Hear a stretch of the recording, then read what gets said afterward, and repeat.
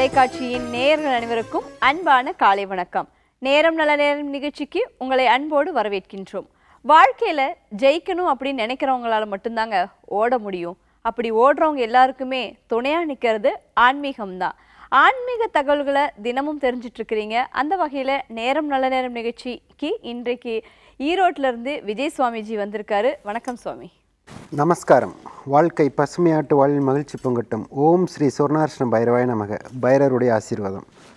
நிறைய ஆன்மீக தகவல்கள் உங்கள் மூலமாக ஞாயிற்றுக்கிழமை நிறைய நேயர்களுக்கு போய் சேருது. அதே சமயத்தில் நிறைய சந்தேகங்களும் இருக்குது தினம் தினம் ஜோதிடம் குறித்து நிறைய சந்தேகம் இருக்குது கல்யாணம் ஆகுமா? கல்யாணம் ஆகாதா? ஆனவங்களுக்கு குழந்தை பிறக்குமா? குழந்தை பிறந்தா அது நல்லா படிக்குமா? அது ஃபாரினில் போகுமா? நம்மளை விட நல்லா வாழுமா? இந்த சொசைட்டி எப்படி இருக்கும் அப்படின்னு. ஆனால் இந்த டுவெண்ட்டி டுவெண்ட்டி எல்லாருக்குமே ஆரம்ப நாள்ல இருந்து இன்னைக்கு வரைக்குமே ஒரு பயமுறுத்தக்கூடியது அடுத்த வருஷம் எப்படி இருக்கும் அப்படிங்கிறதுமே ஒரு பயமாக இருக்குது வரக்கூடிய நியூ இயர் ஒரு ஜோதிடராக ஒரு ஆன்மீகவாதியாக எப்படி இருக்கும்? எப்படி இருக்குங்கிறத விட எப்படி இருக்கணுங்கிறத ரொம்ப முக்கியம்.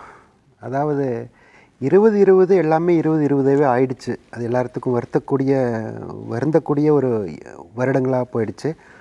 பைரவருடைய அருளால் வரக்கூடிய இருபது இருபத்தி ஒன்று ரொம்ப ஆரோக்கியமான ஒரு வருடமாக இருக்கணும்னு பைரவரையும் பிரார்த்தனை பண்ணிக்கிறேன். எல்லாத்துக்கும் நல்லது நடக்கணும்னு ஆசீர்வாதம். எங்களுக்கும் அதே ஆசைதான். அட்லீஸ்ட் இருபத்தி ஒண்ணுலயாவது எங்களை எல்லாம் கண்டிப்பா வாழ விடுங்க அப்படிங்கிற கண்டிப்பா அது ஒரு நீச்ச வருடங்களாகவே நம்ம எடுத்துக்க வேண்டியது வேறு வழி இல்லை. நமக்கு மட்டும் இல்லை நம்மளுடைய மண்ணுக்கு மட்டும் இல்லை உலகம் பூரா இந்த வேதனைகளை எல்லாரும் மக்கள் அனுபவிக்க வேண்டிய சூழ்நிலை போச்சு. ரெண்டாயிரத்தி ஒன்று சிறப்பாக இருக்கணுங்கிறது என்னுடைய கருத்து. ஓகே சாமி நீங்கள் போன வாரம் நிகழ்ச்சியில் சொல்லியிருந்தீங்க ஒரு இருபது நாள் குழந்தை பிறந்து இருபதாவது நாள் கழித்து இருபத்தி ஓராவது நாள்லேருந்தே அந்த குழந்தையினுடைய காலினுடைய பெருவிரல் ரேகை வந்து வளர ஆரம்பிச்சும் அதை வந்து வச்சு நம்ம வந்து ஜோதிடம் பார்க்கலாம் அப்படின்னு சொன்னீங்க இல்லையா? ஒரு குழந்தையினுடைய முழு ஜாதகத்தை அந்த இருபதாவது நாள்லேருந்து தொடர்ந்து எப்போ வேணாலும் பார்த்து கணிச்சு சொல்ல முடியுமா? கண்டிப்பாக சொல்ல முடியும். இந்த கால் ரேகை பொறுத்தவரையில் நான் ஏற்கனவே சொல்கிற மாதிரி தான் ஒரு மனிதனுடைய ரேகை எடுத்தோம்னா உங்களை ரேகை கொடுத்துட்டு நீங்கள் எங்கிட்ட அமர்ந்துக்குங்க.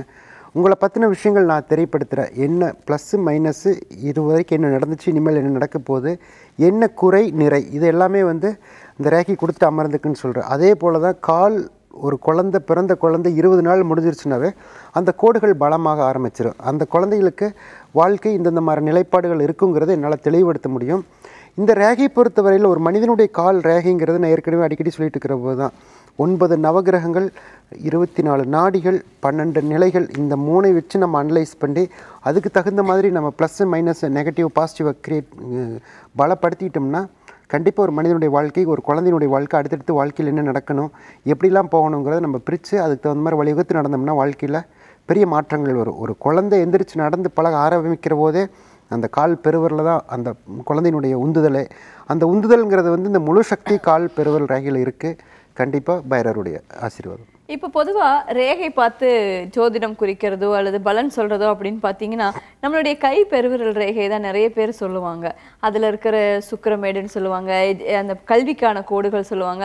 சிலர்லாம் பார்த்துருக்கேன் இந்த இந்த சைடில் பார்த்து எத்தனை கல்யாணம் எத்தனை குழந்தைன்னெலாம் சொல்கிற மாதிரி இருக்குது இப்போ நீங்கள் சொன்ன மாதிரி இரநூற்றுக்கும் சொச்சமான கோடுகள் வந்து காலினுடைய பெருவிரல் ரேகையில் இருக்குது அப்படின்னு சொல்லியிருக்கீங்க. அதில் தனி கோடுகள் இது திருமணமானதுக்கு அல்ல ஒருவருக்கு இவ்வளவு திருமணம் ஆகும் ஒருவருக்கு இவ்வளவு குழந்தைகள் பிறக்கும்னு தனி கோடுகள் அதுக்காகவே இருக்கா? கண்டிப்பாக அதை வச்சு தான் நம்ம ஒரு கோடுகளை வச்சு தான் மனிதனுடைய லைஃப்பை இன்றைய காலகட்டத்தில் இந்த மாதிரி இருக்காங்க இன்றைய காலகட்டத்தில் இது நடக்கும் அப்படிங்கிறது அந்த கோடுகள். இரநூத்தி நாற்பது வகையான கோடுகள் இருக்குது ஒரு மனிதனுடைய அங்கம் அப்படிங்கிறது உடல் ஒரு உறுப்பத்தை ஒரு அங்கன்னு சொல்கிறோம் இந்த ரேகையை பொறுத்தவரையிலும் அந்த ரேகையினுடைய கோடுகள் கோடுகள்ங்கிறது கஜ முகம் இருந்துச்சு அப்படின்னா அந்த கஜ முகம் கண்டிப்பாக ஒரு மனிதன் ஒரு உச்சத்தை அடைஞ்சே தீருவான். அது தொழிலில் போனாலும் சரி அது சினிமாவாக இருந்தாலும் சரி அரசியலாக இருந்தாலும் சரி அல்லது ஒரு ஒரு ப்ரொஃபஷனல் வந்து ஒரு ஒரு ஐஏஎஸ்ஸாக இருக்கட்டும் அந்த மாதிரி ஒரு எதிர்பார்க்காத அளவுக்கு ஒரு கஜமுக யோகம் இருந்துச்சுன்னா போவான் அப்போ அந்த கோடுகளினுடைய வில்வக்கோடு நாகக்கோடு அத்திமக்கோடு கத்திரிக்கோடு இந்த மாதிரி கோடுகள் இரநூத்தி வகையான நாற்பது வகையான கோடுகள் இருக்குது அந்த கோடுகள்தான் ஒரு மனிதனுடைய வாழ்க்கையை நிர்ணயிக்கக்கூடியது. அந்த வாழ்க்கைக்கு உண்டான நிலைப்பாடுகள் அவனுடைய அந்த ஒரு ரூபா காயின் அடிக்கடி சொல்லிட்டு இருக்க மாதிரி நம்ம ஒரு ரூபா காயின் என்ன ரவுண்டு இருக்கோ அது மாதிரி தான் அந்த ரேகை அளவு இருக்கும். அதுக்குள்ளே நம்மளுடைய முடி என்ன திக்னஸ் இருக்கோ அந்த திக்னஸில் தான் அவனுடைய கோடுகள் வரும். அந்த கோடுகள் வச்சு தான் நம்ம லைஃப் அனலைஸ் பண்ணுறோம் அந்த கோடுகளுக்குள்ளே தான் அவனுடைய வாழ்க்கை அடங்கியிருக்கு. அந்த கோடுகள் வச்சு தான் ஒவ்வொரு மனிதர்கள் இது இது பண்ண முடியுமா? கோடுகள் வச்சு தான் அமைப்பு விதி நிலை இந்த மூணு. ஒரு மனிதன் எதை செஞ்சாலும் அதில் நிலச்சி நிற்கணும் ஒரு மனுஷன் எதுலேயுமே போனாலும் அது தீவிரமாக அதை ஃபாலோ பண்ணி அதை கரெக்டாக முடிக்கக்கூடிய சக்தி நம்ம கிரகத்தில் வேணும். அதுதான் அந்த ஒன்பது நவகிரகங்கள். அந்த நவகிரகம் அனலைஸ் பண்ணி தீர்வு எடுக்க முடியுங்கிறது என்னுடைய நிலைப்பாடுகள். இப்போ பொதுவாக காதலர்கள் வந்து ஜோதிடம் பார்க்கறதோ ஜாதகம் பார்க்கறதோ நம்பிக்கையே இல்லாமல் ஆயிடுவாங்க. ஒருவேளை அவங்க நம்பிக்கை இருக்கிறவங்களா இருந்தால் கூட காதல் வந்ததுக்கப்புறம் அது இல்லாமல் போயிடும். அப்படி காதலிச்சு அதுக்கப்புறம் வீட்டில் கல்யாணம்னு பார்க்கும்போது ஜாதக ரீதியாக எல்லாம் சேர்ந்ததுக்கப்புறம் ஒருவேளை அப்படிப்பட்ட காதலர்கள் இந்த காலினுடைய பெருவிரல் ரேகை பார்க்க உங்ககிட்ட வந்திருக்காங்க. நாங்கள் காதலிச்சுட்டு இருக்கோம். வீட்டில் வந்து ஜாதகம் ஒத்துக்க போக மாட்டேன்னு சொல்கிறாங்க எங்கள் வீடுகள் ஒத்துக்க மாட்டேங்கிறாங்க. ஆனால் எங்கள் ரெண்டு பேர்த்தினுடைய பெருவிரல் ரேகையை வச்சு சொல்லுங்க அப்படின்னு ஏதாவது யாராவது வந்திருக்காங்க நிறைய வந்திருக்காங்க. நிறைய நடந்திருக்கு நிறைய வந்திருக்காங்க. ஒரு சில பேர்த்துக்கு எனக்கு என்ன படுதோ அவங்க ரெண்டு பேர்த்தினுடைய ரேகையை வச்சு பார்க்குற போது எனக்கு இந்த ரெண்டு பொருத்தங்கள் நார்மலாகவே ஒரு ஜாதகம் பார்த்தோம்னா ஒன்பது பொருத்தங்கள் சரியாக இருக்கணும்னு சொல்லுவாங்க. ஏழு பொருத்தம் இருந்துச்சுன்னா அது உள்ள குறைகள் பொருத்தத்தில் குறைகள் இருக்குதுன்னு சொல்லுவாங்க. அது மாதிரி எனக்கு இந்த கோடுகள் சில கணக்கில் இருக்குது அந்த கணக்கிட்டு சில பேர்த்துக்கு பார்த்தீங்கன்னா நீங்கள் தைரியம் போய் கல்யாணம் பண்ணுங்கன்னு சொல்லியிருக்கேன். சில பேர்த்துக்கு வேண்டான்னு சொல்லியிருக்கேன். நீங்கள் அந்த பொருத்தமாக பார்க்கலாம் அப்படின்னு வந்துட்டால் அது நான் சொல்கிற விஷயம் சரியா அப்படிங்கிறது நெகட்டிவ் அப்படிங்கிறது என்னுடைய நோக்கம் அல்ல. அது ஒரு ஒவ்வொருத்தருடைய வாழ்க்கைக்கு இந்த ரெண்டு பேர்த்து ஆண் பெண்ணுடைய பொருத்தங்கள் இருக்காங்கிறது என்னுடைய கணக்கு. பொறுத்து இருக்குன்னா இருக்குன்னு சொல்லிடுவேன் இல்லைன்னா இல்லைன்னு சொல்லிடுவேன். அப்போ அது சில பேர்லாம் பார்த்திங்கன்னா வருத்தப்பட்டு போனது உண்டு. ஒரு சில பேர்லாம் பார்த்திங்கன்னா ரொம்ப சந்தோஷப்பட்டு நீங்கள் சொன்னது நாங்கள் ஏற்றுக்கிறோம் நாளைக்கு லைஃப்பில் சிரமப்பட வேண்டாம்னு பிரிஞ்சுங்க அவங்களே இருக்காங்க. இது மாதிரி என் கையில் ஒன்றும் கிடையாது. அவங்களுடைய பொருத்த நிலை அதாவது மனம் மனம் ஒற்றி போயிட்டால் ஒன்றும் தேவையில்லைன்னு சொல்கிறோம் அப்போ அதை மீறி பண்ணணும்னு முடிவு பண்ணிவிட்டால் ஜாதகமே பார்க்காதீங்க. ஜாதகம் பார்த்து ஒரு மனசு குறையிலே வச்சுட்டு இருக்காதுங்கிறது என் முன் வச்சுட்ருக்கேன் நான் ஒரு சிலது. அதே மாரி இந்த ரேகையை வச்சு பார்த்து சொல்லுங்கள் சாமின்னு சொல்கிறது என்னுடைய கடமை. அது நான் சொல்லி ஆகணும். அதை தெரியப்படுத்திகிட்டு இருக்கேன் எல்லாத்துக்கும் மனிதனுடைய வாழ்க்கைங்கிறது கடவுளுடைய அனுகிரகம் முழு அனுகிரகத்தை நம்ம பெற்றுட்டோம் வாங்கிட்டோம் அப்படின்னோம்னா அவன் சக்தி முழுசாக நம்ம கைக்கு இருக்குது இருந்துச்சு அப்படின்னா எதை செஞ்சாலும் நம்ம ஜெயிச்சிடலாம். எல்லாத்துக்கும் கடவுளுடைய அனுகிரகம் வேணும். கடவுள் தான் எல்லாத்துக்கும். நம்ம வயசான காலத்தில் அந்த பாட்டி அல்லது தாத்தா அந்த மாதிரி ஏஜ் ஆனதுக்கப்புறம் அவங்களுடைய பெருவிரல் ரேகையை வச்சும் துல்லியமாக கணிச்சு சொல்ல முடியுமா? அல்லது இந்த வயதானதுக்கப்புறம் முகம் சுருங்குற மாதிரி இந்த காலினுடைய பெருவிரல் ரேகைகள் ஏதாவது சுருங்கவோ அல்லது மறையவோ செய்யுமா? இல்லை. மறையிறதுங்கிறது வந்து எப்போ மறையும் அப்படின்னா தேய்மானத்தில் தான் ரேகை மறையும். அப்போ வயதுக்கு இதுக்கு சம்மந்தமே இல்லை கிடையாது. இப்போ கோடுகள் பொறுத்த வரைக்கும் பார்த்தீங்கன்னா சுருங்காது. கோடுகள் டிம் பிரைட் அந்த பலம் பலவீனங்கிறதா. அது நீங்கள் உங்களுடைய வாதத்தில் சுருங்குன்னு கூட வச்சுக்கலாம். அந்த ஏஜ் ஆகிறதுனால அது சுருங்காது. இந்த கோடுகளை பொறுத்த வரைக்கும் பார்த்தீங்கன்னா பிறப்பு இருபது வயசுலேருந்து ரேகைகள் தேய்மானம் இல்லாமல் அந்த பெருவரில் அடிபடாமல் இருந்துச்சு அப்படின்னா அந்த எத்தனை வயதானாலும் அந்த உள்ள கோடுகள் இருந்துக்கிட்டே இருக்கும். அந்த கோட்டினுடைய பலம் பலவீனம் தான் நம்ம பார்க்கணும். அந்த பலவீனங்கிறது வந்து எதனால் பலவீனங்கள் ஏற்பட்டுச்சு? அந்த பலவீனத்துக்கு நம்ம பாசிட்டிவ் ஆக்கிறதுக்கு என்ன வழி? அதை நான் ஒவ்வொரு டைமும் நான் சொல்கிற போது என் முன்னாடி வந்து உட்கார்ற போது இந்த பிரச்சனைகளை சொல்கிற போது உங்களை பற்றி நீங்கள் எதுவும் சொல்ல வேண்டாம். உங்கள் ரேகை கொடுத்துட்டு அமர்ந்துக்குங்கன்னு சொல்கிற போது அந்த பலத்தை பலவீனத்தை என்னால் தெளிவுபடுத்த முடியும். கண்டிப்பாக அது சுருங்காது. அது பலம் எடுக்க முடியும். அது எப்போவுமே அந்த எத்தனை வயதானாலும் இந்த கோடுகள் பலமாக இருக்கும். சாமி இப்போ உங்ககிட்ட நிறைய பேரண்ட்ஸ் வந்து பெற்றோர்கள் வந்து உங்ககிட்ட ஜோதிடம் பார்க்க வருவாங்க. என்னன்னு தெரியலிங்க? நான் வெள்ளிக்கிழமை செவ்வாய்க்கிழமை வாரத்தில் ஏழு நாளும் சாமி கும்பிட்றேன். என் பையனுக்கோ அல்லது என் பொண்ணுக்கோ வந்து ஆன்மீகத்து மேலே நம்பிக்கையே இல்லைங்க. அவங்க வந்து போகிற வழியே சரியில்லை. வண்டி மெதுவாக ஓட்டுனா கேட்க மாட்டேங்கிறான் தப்பான வழிபாதைகளை போகிறான் நிறைய பெற்றோர்கள் புலம்பி இருப்பாங்க. அப்படிப்பட்ட இளைஞர்களுக்கு நீங்கள் எந்த மாதிரி அட்வைஸ் பண்ணுவீங்க? இல்லை அவங்களுடைய பெருவிரல் ரேகையை பார்த்து தான் அதையும் கணிப்பீங்களா?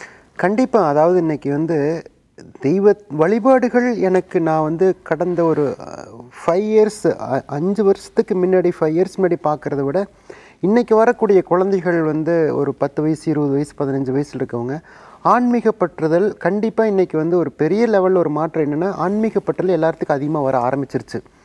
ஒரு காலகட்டத்திலலாம் பார்த்தீங்கன்னா ஒரு நாற்பது வயதில் தான் ஜோதிடமே பார்ப்பாங்க.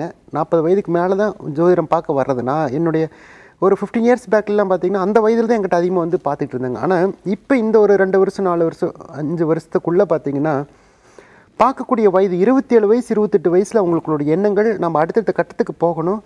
காலங்கள் அவ்வளோ வேகத்துக்கு தகுந்த மாதிரி அவங்கள அவங்கள தயார்படுத்திக்கக்கூடிய நிலையில் தான் இருந்துகிட்ருக்காங்க கண்டிப்பாக இன்றைக்கி வந்து ஆன்மீக பற்றுதல் ஒரு சில குழந்தைகள் வந்து இன்னும் பற்றுதல் இல்லாமல் இருக்காங்க. அதை மறுக்க முடியாது. ஒரு சில பற்றுதல் ஒரு குழ ஒரு சில குழந்தைகள் பார்த்திங்கன்னா தாய் தந்தையினுடைய பேச்சை கேட்காம தான் இருந்துகிட்ருக்காங்க அவங்க அந்த மாதிரி பேரண்ட்ஸ் எங்கிட்ட வந்து பார்க்குறபோது நான் ஃபஸ்ட்டு ரேகையை எடுத்து பார்த்துட்டு தான் நான் அதுக்கு பலன் சொல்லுவேன். அந்த ரேகையை வச்சு தான் ஒரு மனிதனுடைய வாழ்க்கையை நிர்ணயிக்க முடியுங்கிறது என்னுடைய கருத்து. அந்த ரேகையை வச்சு அவன் எதனால நெகட்டிவாக இருக்கான்?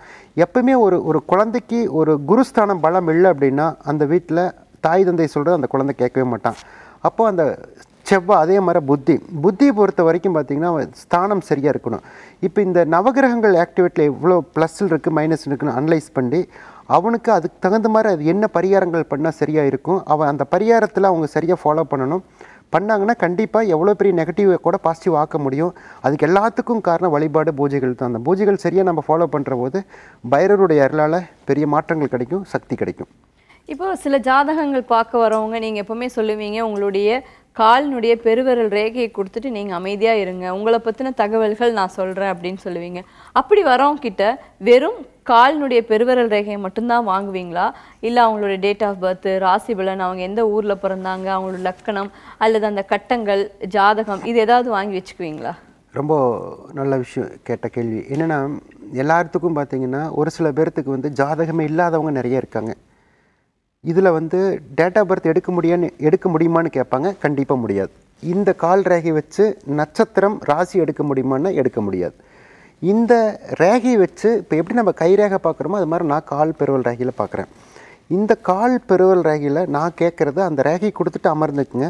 டேட் ஆஃப் பர்த் தெரிஞ்சால் சொல்லுங்கள் எனக்கு அது இம்பார்ட்டன்ட் கிடையாது. அது எப்போ பிறந்தாங்கிறது இம்பார்ட்டன்ட் கிடையாது. நான் சொல்கிற விஷயங்கள் இன்றைக்கி இந்த ரேகையை பொறுத்தவரையில் உங்களுடைய வாழ்க்கை எப்படி இருக்குது நாளைக்கு எப்படி இருக்கும்? இதுதான் என்னுடைய கொஸ்டின்ஸு அவங்கள ரேகை கொடுத்துட்டு அமர்ந்துக்குங்கன்னு சொல்கிற விஷயம் அவங்கவுங்கள பற்றி எங்கிட்ட தெரியப்படுத்திட்டா உங்களை பற்றி நீங்கள் எனக்கு தெரியப்படுத்திட்டு நான் சொல்கிற விஷயம் இருக்காது. அப்போது உங்கள் ரேகை கொடுத்துட்டு நீங்கள் அமர்ந்துக்குங்க. நான் சொல்கிற விஷயம் சரியாக இருந்தால் ஃபாலோ பண்ணுங்கிறத எல்லாத்துக்கும் நான் முன் வச்சுட்ருக்கிறது இருக்கிறது. அப்போ அந்த ரேகை கொடுத்துட்டு எனக்கு டேட் ஆஃப் பர்த் தேவையில்லை முக்கியம் இல்லை இம்பார்ட்டன்ட் இல்லை. ராசி நட்சத்திரம் நான் கேட்க போகிறதில்ல நான் எடுத்துக்கிறதே இல்லை ராசி நட்சத்திரம். அதே மாதிரி கட்டங்கள் ஜாதகம் எனக்கு தேவையில்லை. உங்கள் ரேகை மட்டும்தான் எனக்கு இம்பார்ட்டன்ட் அந்த ரேகை கொடுத்துட்டு நீங்கள் அமர்ந்தாவே போதும். உங்களை பற்றின விஷயங்கள் என்ன குறை என்ன நிறை இதுக்கு நிறைக்கு குறையாக இருக்கக்கூடியது நிறை ஆக்கறதுக்கு என்ன வழி அப்படிங்கிறது என்னால் தெளிவுபடுத்த முடியும். பைரவருடைய அருளால். இப்போ உங்க பக்கத்துல வந்து உட்காந்து நிறைய இடங்கள்ல பார்த்தீங்கன்னா ஜோதிடம் அவங்க பாட்டுக்கு சொல்லுவாங்க ரெக்கார்ட் பண்ணிக்கோங்கன்னு சொல்லுவாங்க. அவங்களுக்கு ஒரு கேள்வி இருக்குதுன்னா அவங்க இடையில நீங்க பேச பேச கேட்கலாமா? அல்லது எல்லாம் முடிஞ்சதுக்கு அப்புறமா அந்த கேள்வி நான் உள்ளே வரபோதே ஃபஸ்ட்டு ஃபோனை ஆஃப் பண்ணிக்கிங்கன்னு சொல்லிடுவேன். விட வேண்டாம். ஃபோனே ஆஃப் பண்ணிக்கிங்கன்னு சொல்லுவேன். அதில் பல இடையூறுகள் வர்றதுனால தான் ஃபோன் ஆஃப் பண்ணிக்கிங்கன்னு சொல்லுவேன். அடுத்தது என்னை பேச விட்டுருங்க. நான் எல்லாத்துக்கும் தெளிவுபடுத்துறதுக்கு என்னை பேச விட்டுருங்க. முடிச்சதுக்கப்புறம் உங்களுடைய கேள்வி எவ்வளோ இருந்தாலும் கேட்டுக்குன்னு சொல்லுவேன். நான் உங்களுக்கு டைம் கொடுக்காமலாம் இல்லை. கண்டிப்பாக வரவங்களுக்கு வந்து நாம் அவ- நம்ம என்ன நினைக்கிறோம் என்ன தெரியுதோ அதை நம்ம பேசுவோம்.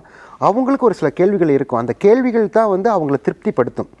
இப்போ ஒரு ஒரு ஒரு எந்த ஒரு பிரச்சனைகளுக்கு தீர்வு வேணும்? ஒரு சில பேர்லாம் பார்த்தீங்கன்னா ஒரு ஒரு ப்ராப்பர்ட்டி சேல் பண்ணலாமா வேண்டாமா? இந்த காலகட்டத்தில் சேல் பண்ணுறதா வேண்டாமா? அப்படிங்கிற ஒரு எண்ணங்கள் இருக்கும். அப்போ அந்த எண்ணங்கள் நாம் சொல்லியிருக்க மாட்டோம். அப்போ அவங்க கேள்விகள் கேட்க விட்டால் தான் அந்த எண்ணங்கள் அவங்க என்ன கேள்வி வருதோ அந்த கேள்விக்கு பதில் கொடுக்க முடியும். அப்போ அதனால நான் என்னை பேச ஃபஸ்ட்டு ஒரு டைம் எடுத்துக்குவேன். ஒரு fifteen minutes twenty minutes thirty minutes என்னுடைய கேள்விகளுக்கு எல்லாமே பதில் கொடுத்துட்டே வாங்க. அதுக்கப்புறம் உங்களுடைய கேள்விகள் எதாக இருந்தால் கடைசியாக நீங்கள் எவ்வளோ வேணும் கேள்வி கேளுங்கன்னு சொல்லுவேன். அந்த கடைசியில் கேள்விகள் தான் எல்லாமே வந்து ஒரு மனிதனுடைய வாழ்க்கைங்கிறது தெரிஞ்சுக்கணும் ஃபஸ்ட்டு நம்பணும் ஃபஸ்ட்டு அதுக்கப்புறம் தான் நம்ம அடுத்தடுத்த படிக்கட்டு நம்ம மேலே ஏற முடியும். அந்த நம்பிக்கையும் அந்த படிக்கட்டு மேலே ஏறக்கூடிய இடங்கள் பைரருடைய எல்லாத்துக்கும் கிடைச்சிட்டு இருக்கு கிடைக்கும். இப்போ நிறைய இடங்களில் பார்த்தீங்கன்னா ஃபுட் அலர்ஜின்னு சொல்லிட்டு முழு காலையுமே இப்படி வச்சு அது வந்து இங்கே தான் கிட்னி இருக்குது இங்கே தான் ஹார்ட் இருக்குது இதெல்லாம் இந்தந்த மாதிரின்னு சொல்லி நிறைய கம்ப்யூட்டர் சென்டர்ஸ்லாம் நான் பார்த்துருக்கேன். ஸோ முழு காலை வச்சு பார்ப்பாங்க. நம்மளுடைய முழு கையை வச்சு நம்ம ரேகை எடுக்கிற மாதிரி. ஆனால் நீங்கள் வந்து ஒரே ஒரு பெருவிரல் அதுவும் காலினுடைய பெருவிரல் இந்த அந்த ஒரு ரூபா காயின் செலவில் இருக்கக்கூடிய அந்த ரேகைகளில் மொத்த உடம்பினுடைய ரேகைகளுக்கான அறிகுறிகள் ஏதாவது தெரியுமா? அல்லது அதை எப்படி கண்டுபிடிக்கிறீங்க? நுணுக்கமான விஷயங்களா? ரொம்ப நுணுக்கமான விஷயம். இப்போவே பார்த்தீங்கன்னா நான் அடிக்கடி நான் வந்து ஒரு நாளைக்கு ஏற்கனவே சொல்லிட்டு இருக்கேன் அஞ்சு பேர்த்துக்கு மேலே பார்க்குறதுல இப்போ அஞ்சு ஏழு ஆக்கியிருக்கேன். ரொம்ப நுணுக்கு என்ன அப்படின்னா இதில் இந்த கால் ஒரு ரூபா காய் நகலம் இருக்கோ அந்த காய் நகலம் தான் அந்த ரேகை இருக்கும். அந்த ரேகையில் முடி என்ன திக்னஸ் இருக்கோ அந்த திக்னஸில் அந்த கோடுகள் இருக்கும். அந்த கோடுகள் வச்சு தான் நம்ம மனிதனுடைய பலன்கள் சொல்லணும். பலன்கள்னால் அவங்க என் எதுக்காக வந்திருக்காங்கிற சொல்கிற போது அந்த நம்பிக்கை வரும். அந்த நம்பிக்கைக்கு நம்ம ஒரு பலமாக இருக்கணும் அப்படின்னா நம்ம சொல்கிற வாக்குகள் சரியாக இருக்கணும் சொல்கிற வார்த்தைகள் சரியாக இருக்கணும். அப்போ இந்த சொல்கிற வார்த்தைகள் சரியாக இருக்கிற போது நம்ம எடுக்கக்கூடிய விதங்கள். அந்த கோடுகளை லென்ஸ் வச்சு பார்க்குறவ எனக்கு ரொம்ப ஐன் ரொம்ப ஐ ரொம்ப ஸ்ட்ரெயின் பண்ணி தான் பார்க்க வேண்டியது இருக்கும். அது ரொம்ப சிரமம். நீங்கள் பத்து நிமிஷம் நம்ம அந்த ஹை ஐ லென்ஸை பார்த்தீங்கன்னா எவ்வளோ பெயின் இருக்குங்கிறது தெரியும்.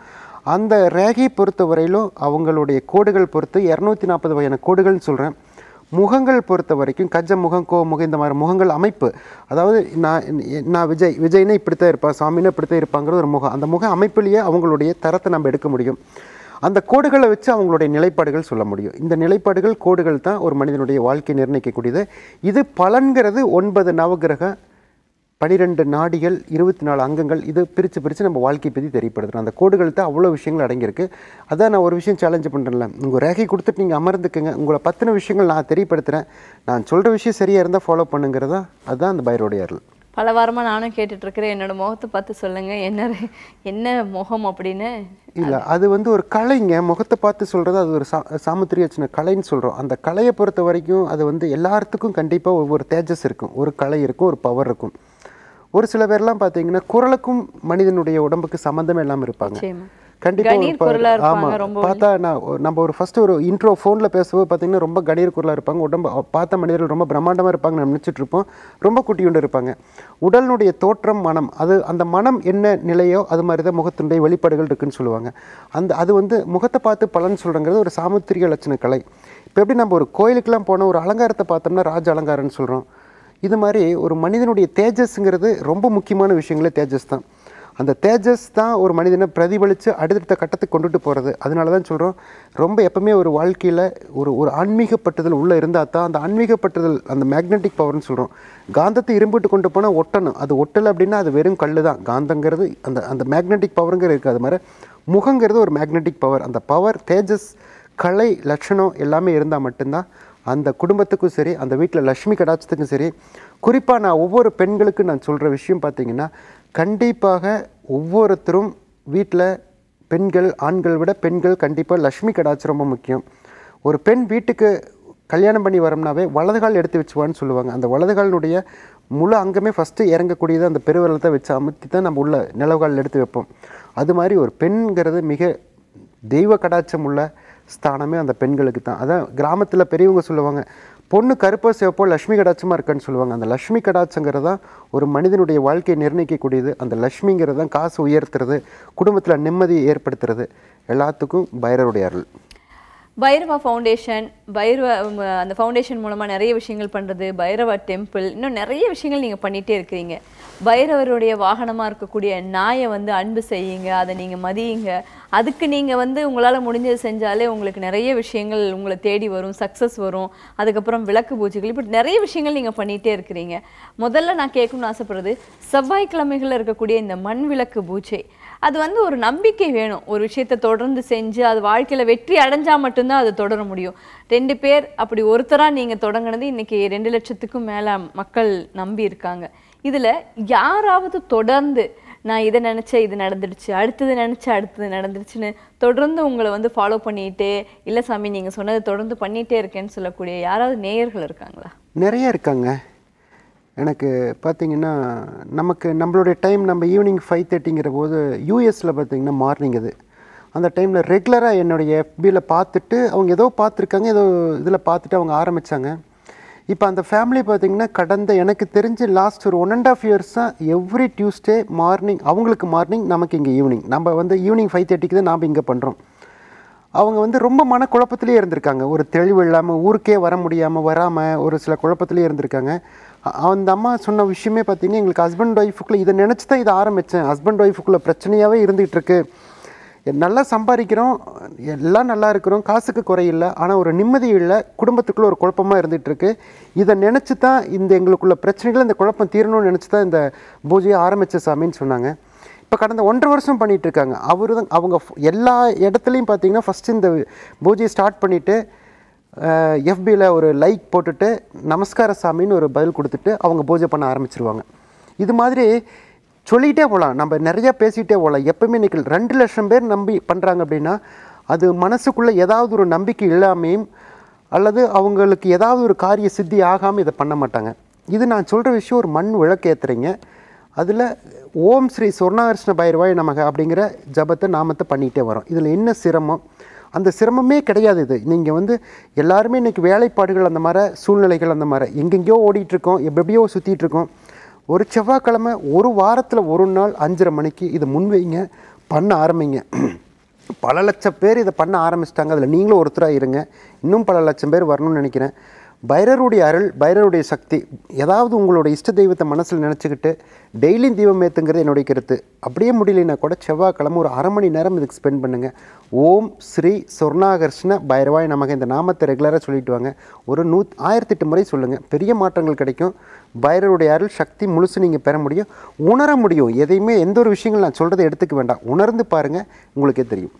பொதுவாக ஒரு மனுஷன் ஒரு வீடு கட்டணும் அப்படின்னு சொன்னாலே அதுக்கு பெரிய லக் இருக்கணும் அதுக்கு அதிர்ஷ்ட நேரம் வரணும் அதுக்கான நேரங்கள் வரணும் அப்படின்னு சொல்லுவாங்க. நீங்கள் ஏதோ ஒரு ஆசையிலையும் ஏதோ ஒரு முயற்சியிலையும் இன்னைக்கு ஒரு மாபெரும் கோயில் கட்டிக்கிட்டு இருக்கிறீங்க. அதுவும் பைரவருக்காகவே கட்டிட்டு இருக்கிறீங்க. பேசப்படக்கூடிய ஒரு கோயிலும் கூட. இன்றைக்கி இருக்கிற இந்த டுவெண்ட்டி டுவெண்ட்டில் கொரோனா புயல் வெள்ளம் இந்த பிரச்சனைகளுக்காக வெளி வேலைப்பாடுகள் நடக்காமல் வேணால் இருக்கலாம். ஆனால் இன்டீரியல் ஒர்க்கு எந்த அளவுக்கு வேகமாக நடந்துகிட்ருக்கு கோயிலை பற்றி சொல்ல போனோன்னா பஸ் ஃபஸ்ட்டு நான் two thousand three two thousand ஃபோரில் பார்த்தீங்கன்னா அப்போ என்னுடைய இருபத்தி மூணு இருபத்தி நாலாவது வயதில் நான் வந்து பைரவ ஃபவுண்டேஷன் ஒன்று ஆரம்பித்து அதில் வந்து மக்கள் பணிகளை நிறைய பண்ண ஆரம்பித்தேன் நிறைய குழந்தைகளை படிக்க ஆரம்பித்தேன் படிக்க வைக்க ஆரம்பித்தேன் அது இன்றைக்கி இன்றைக்கி பல ஆயிரக்கணக்கான குழந்தைகள் தொடர் ஆரம்பிச்சு தொடர்ச்சியாக போய்கிட்டு இருக்குது. பைரோ ஃபவுண்டேஷன் மூலிமா ரூரல் டெவலப்மெண்ட்டு ஹெல்த் கேரு அப்புறம் ஸ்டடீஸ் இந்த மூணு கவனம் செலுத்தினேன். இதில் ரொம்ப பெரிய கவனமாக கொண்டுட்டு போயிட்டு இருக்கிறது பைரவ ஹெல்த் கேர் மூலிமா பைரோ ஃபவுண்டேஷன் கீழே பைரவ ஹெல்த் கேர் இந்த பைரவ ஹெல்த் கேர் மூலிமா கேன்சர் கிட்னி எங்கிட்ட டாக்டர்ஸு கிட்டத்தட்ட ஆயுர்வேத சித்தில் ஒர்க் பண்ணிகிட்ருக்காங்க அந்த டாக்டர்ஸ் இன்றைக்கி மெடிசன் நல்ல லெவலில் கொடுத்துட்ருக்காங்க டாக்டரே முடியாதுங்கிற பேஷண்ட்ஸு அந்த கடவுள் நம்பி வர்றாங்க பைரவர் நம்பி வர்றாங்க. பெரிய மாற்றங்கள் ஒரு மாதத்துல நடந்தெல்லாம் நிறைய இருக்காங்க. இது மாதிரி இந்த ஹெல்த் கேர் மூலிமா இந்த சர்வீஸ் பண்ணிகிட்ருக்கேன் அடுத்தது பார்த்திங்கன்னா கோயிலை பற்றி பேசணுன்னா இது பெரிய ஸ்டோரி பெரிய கதை. ஏன் கோயில் கட்ட ஆரம்பித்தங்கிறது அந்த பைரவருடைய ஏரலால் தான். கிட்டத்தட்ட ஒரு நாலஞ்சு வருடங்களாக வேலை நடந்துகிட்ருக்கு நான் ஆரம்பித்தது இவ்வளோ பெருசு ஆரம்பித்தோம் இன்றைக்கி இவ்வளோ பெருசு விரிஞ்சு படந்து போய்கிட்டுருக்கு. அது உங்களுடைய ஆதரவாலையும் உங்களுடைய முன் நிலையினாலையும் தான் கேட்டுட்ருக்கேன் இப்போ உங்களால் முடிஞ்சது பைரவ அந்த கோயிலுக்கு பண்ணுங்க அப்படின்னு சொல்லி எல்லாத்துக்கும் முன் வச்சுட்ருக்கேன் இது வரைக்கும் நான் கேட்காம இருந்து இப்போ கேட்க ஆரம்பிச்சிருக்கேன். என்னால் முடிஞ்சது பண்ணிடலாம் அப்படின்னு நினச்சேன். முடியல. அடுத்தடுத்த கட்டத்துக்கு போயிட்டு ரொம்ப பிரம்மாண்டமான கோயில். எல்லா பத்திரிக்கையில் எழுதுகிற போதே பார்த்தீங்கன்னா ஃபஸ்ட் ஒரு பெரிய பத்திரிக்கையில் தான் ஏசியா பிக்கஸ்ட் பைரவா டெம்பிள் தான் முன் நிறுத்தி முன் வச்சாங்க அந்த வார்த்தையை. அது மாதிரி ஏசியா பிக்கஸ்ட் பைரவா டெம்பிள் முன் நிறுத்துகிற அளவுக்கு இந்த கோயில் பெரிய கோயிலாக இருக்குது கண்டிப்பாக அந்த குடும்பம் உங்கள் எல்லாத்தினுடைய ஆசீர்வாதத்தாலையும் பைரவருடைய சக்தியாலையும் இது குடி விரைவில் அது கும்பாவாசி நடக்கணும்னு பிரார்த்தனை பண்ணிக்கிறேன். உங்களால் முடிஞ்ச உதவிகள் பண்ணுங்கள் உங்களுடைய கோரிக்கை. நிச்சயமாக அது நடக்கும். அதுக்கு நாங்களும் பங்கெடுப்போம். பொதுவாகவே வந்து மக்கள் அதிகமாக உலகெங்கும் பயப்படக்கூடிய ஒரு நோய் அப்படின்னு பார்த்தீங்கன்னா கேன்சர் கிட்னி ஃபெயிலியர் இது ரெண்டுக்குமே ஆரம்ப காலத்தில் இருக்கக்கூடிய நோய்கள் வேணால் எது வேணாலும் இருக்கலாம். ஆனால் ஒரு கேன்சர் பேஷண்ட் வந்து உங்ககிட்ட வந்து ஹீலிங் எடுத்ததுக்கப்புறம் நீங்கள் சொல்லக்கூடிய மருத்துவர்களை கை காட்டக்கூடிய மருத்துவர்களை சந்தித்து அவங்க சொல்லக்கூடிய மருந்துகளை சாப்பிட்டு ஸோ தேர்ட் ஸ்டேஜில் இருக்கவங்க ஃபஸ்ட்டு ஸ்டேஜில் வந்து ரெண்டு வருஷத்தில் இறந்து போவாங்கன்னு சொன்னவங்க ஒரு ஆறு வருஷம் ஏழு வருஷம் வாழ்ந்தவங்களாம் இருக்காங்கன்னு நீங்கள் பல நிகழ்ச்சிகளை சொல்லியிருக்கீங்க. அவங்க மீண்டும் மீண்டும் உங்களை சந்திக்கும் போது என்ன சொல்லுவாங்க? இல்லைங்க இந்த மாதிரி நபர்கள் இந்த வியாதியில் வந்து வியாதிங்கிறது மிகப்பெரிய ஒரு வேதனைக்கு உண்டான செயல்கள் தான். நான் எவ்வளோ பார்த்துட்ருக்கேன் ஃபஸ்ட்டு என் என்னுடைய பைரவா ஹெல்த் கேருக்கு வர்றாங்க டாக்டர் சந்திக்கிறாங்க treatment first stage second stage third fourth blood cancer இந்த மாதிரி சந்திச்சுட்டு என்னை எங்கிட்ட கடைசியில் வந்து ஹீலிங் நான் அந்த மருந்து கையில் வாங்கி நான் அவங்க கையில் கொடுத்து அந்த மருந்தை வந்து ஹீல் பண்ணி அவங்களுடைய உடம்புல கை வச்சு ஹீல் பண்ணி அந்த அன்னைக்கு எவ்வளோ நாள் தூங்காமல் இருந்தாங்க கூட அந்த அன்னைக்கு மருந்து வாங்கிட்டு அந்த ஹீல் பண்ணி அனுப்புகிற போது தூங்கு நல்ல தூங்குன்னு அடுத்த நாள் ஃபோன் பண்ணுவாங்க. அதாவது இன்றைக்கி காலையில் ஒரு சில பேர் வந்து எனக்கு குட் மார்னிங் போடுறதே வந்து இந்த பேஷன்ஸ் என்கிட்ட வந்து பார்த்து இன்றைக்கி ரெக்கவர் ஆகி சொல்லக்கூடியதான் ஒரு திருப்பூரில் ஒரு ஒரு சின்ன இன்சிடெண்ட் முடிச்சுக்கலாம். ஒரு திருப்பூரில் வந்து ஒரு நபர் கிட்டத்தட்ட ஒரு பதினஞ்சு வருடமாகவே வந்து உடல் வியாதியில் இருந்திருக்காங்க. அப்புறம் போய் பார்த்துருக்காங்க. கேன்சர்னு ஒரு நாலு வருடங்களாகவே ரொம்ப சிரமப்பட்டாங்க எங்கிட்ட வரபோது ஒரு நாலு பேர் சேர்ந்து தூக்கிட்டு வராங்க. கிட்டத்தட்ட இது இந்த இடம் பார்த்திங்கன்னா அப்படியே கறிக்கடையில் கறி வெட்டின மாதிரி தொங்க ஆரம்பிச்சிருச்சு. ரொம்ப கண்ணிலே பார்க்க முடியல ஸ்மெல்லு பெரிய லெவலில் செலவும் பண்ணக்கூடிய ஃபேமிலி கிட்டத்தட்ட அதுக்கு எனக்கு தெரிஞ்சு ஒரு ஒன்றரை கோடி ரூபாய்க்கு மேலே செலவு பண்ணியிருப்பாங்க. என்னை வந்து டாக்டர் வந்து சந்திக்கிறாங்க அப்புறம் நான் ஹீல் பண்ணுறேன் திருப்பூர் என் இடத்துக்கு பக்கமாக இருக்கிறனால த்ரீ டேஸ்க்கு ஒருக்க வந்து ஹீல் வாங்குவார். அந்த ஹீலிங்கிறது மிகப்பெரிய ஒரு சக்தி. நான் கொடுக்குறது இங்கே உச்சத்துலேயும் நெத்தியிலையும் கொடுக்குறத ஹீல் அந்த ஹீல் பண்ண ஆரம்பித்ததுக்கப்புறம் பார்த்தீங்கன்னா மெடிசன் சாப்பிட ஆரம்பித்ததுக்கப்புறம் பார்த்தீங்கன்னா இன்றைக்கி அவருக்கு சுத்தமாக பெயின் இல்லை. தேர்ட் ஸ்டேஜ்லேருந்து இன்றைக்கி ஒன் ஸ்டேஜ் வந்துருச்சு. கடந்த டூ இயர்ஸாக மெடிசன் எடுத்துகிட்டு இருக்காரு. இன்றைக்கி அவருடைய வேலைகளை பார்க்க ஆரம்பிச்சிட்டாரு. வலி குறைஞ்சிருச்சு. எல்லாத்துக்கும் முழு காரணம் எங்கிட்ட அமைஞ்ச பைரவ ஹெல்த் கேரில் ஒர்க் பண்ணிட்டு இருக்க ஒரு டாக்டர்ஸு அது மிகப்பெரிய ஒரு கடவுள் வரம். அதே போல் பைரவருடைய சக்தி தான் நான் எல்லாத்துக்கும் முன் வச்சுட்ருக்கேன் எல்லாம் அந்த பைரவர் நம்புங்க. ஒரு உயிரை காக்கக்கூடிய சக்தி பைரவருக்கு உண்டு. பைரவருடைய அருள் பைரவருடைய சக்தி தான். உங்களுடைய சேவை தொடரட்டும். நீங்கள் வந்து நம்முடைய நேயர்களுக்காக எப்போதுமே ஹீலிங் பண்ணும் அப்படின்னு தான் இந்த நாளும் நான் கேட்டுக்கிறது. பைரவருடைய ஆசீர்வாதம் உங்களுக்கு எப்போ உண்டு? என்னுடைய ஹீல் என்னுடைய ஆசீர்வாதம் என்னுடைய பிரார்த்தனைகள் மக்களுக்காகத்தான் நான் பிறந்திருக்கேன்னு நான் சொல்லணும். ஏன்னா அவ்வளோ விஷயங்கள் மக்களுக்காக பண்ணிகிட்டு இருக்கேன் இன்றைக்கி அவ்வளோ குழந்தைகளை காப்பாற்றிட்டுருக்கேன் அவ்வளோ குழந்தைகளை படிக்க வச்சுட்ருக்கேன் இன்னும் நிறையா சேவைகள் உங்களுடைய முன் எச்சு முன் ஆதரவோடு தான் நடந்துகிட்ருக்கு பைரவருடைய ஆசீர்வாதம் எப்போ இருக்குது என்னுடைய ஹீல் என்னுடைய பிரார்த்தனை ஆசீர்வாதம்.